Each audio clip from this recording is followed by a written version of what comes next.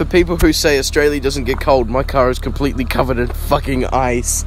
I had to get I had to get my roadside assist card and scrape all the ice off my windshield. fucking hell, it's so cold out here.